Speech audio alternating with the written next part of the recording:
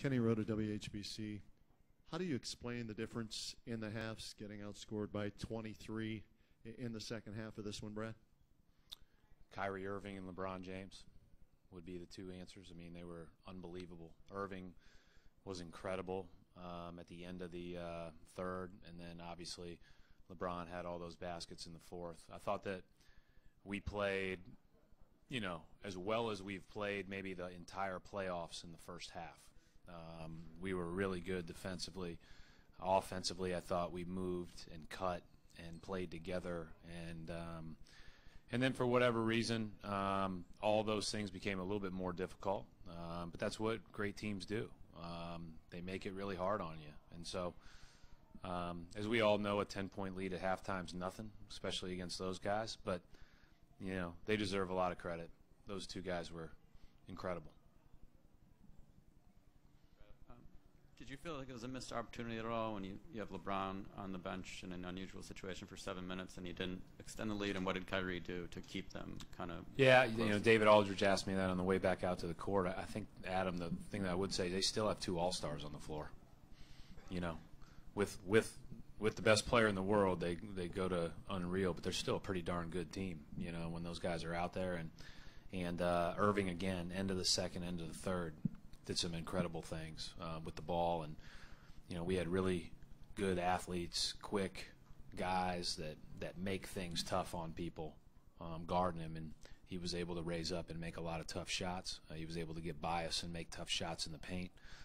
Um, you know, again, sometimes I think that I'll go look at it, and see what all the things that we did wrong, but you know, I think it's more of a tip your hat kind of thing with those two guys tonight.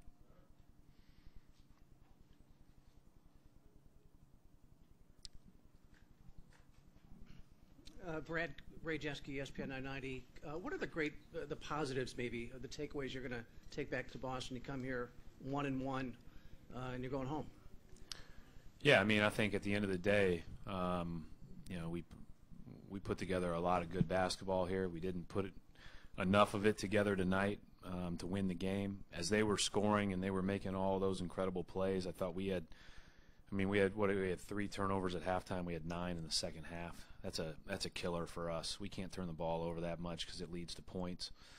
Um, but again, I thought we played as well as as we've played in the first um, on that end of the floor. Certainly in the last couple of games, um, and you know we know that we have a small margin, but we know that um, if we play the next play the right way, you know we got a chance to win that possession. And you know you just try to add those up to win the game.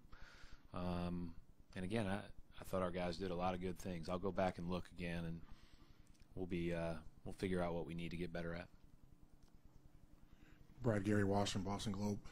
Um, you attributed to Irving and LeBron hitting shots, but when Irving gets in that kind of zone, is there something you can do? I mean, one on one, he's he's wearing everybody. Well, I thought we could have done a better job of, of helping on the paint touch, like being over and, and showing ourselves a little bit. But you got Korver standing over there for a lot of that.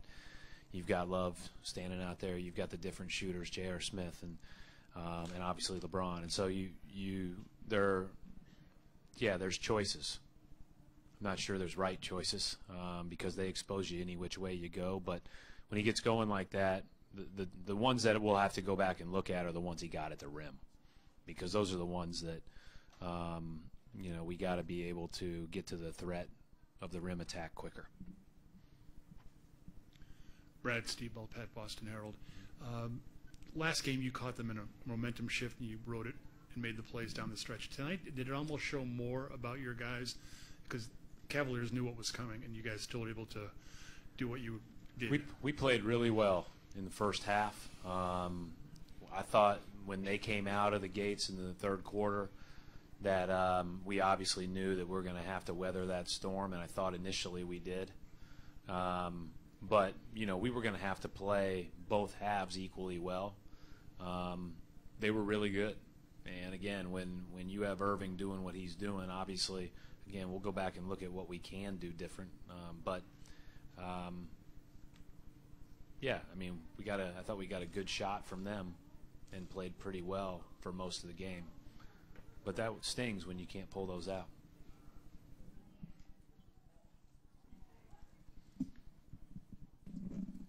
Chris Gasper, Boston Globe. Brad, I just wanted to ask you. You know, you're tipping the cap to them, obviously, but they shot better than 70% in the second half. Is it real? Is that just all them? I mean, it was that kind of night for them? Or? No, I think we need to go. Like I said, the ones that I'm most concerned about are the ones at the rim.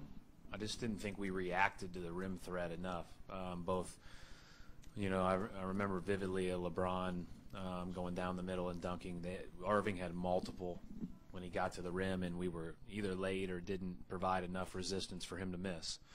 Um, and then there were a couple where we did, and he made it. But, you know, again, we'll go back and we'll look at it, figure out which ones we can do better. Coach Amanda Pflugrad for Celtics.com. How's Jae feeling right now in that strained thigh? Jae Crowder, Jae Crowder, yeah. uh, he has not said anything to me about it. So, um, I mean, I thought he played. Um, you know, obviously shot the heck out of it in the first, and you know it's a hard night when you've got to guard that guy all night. Thanks.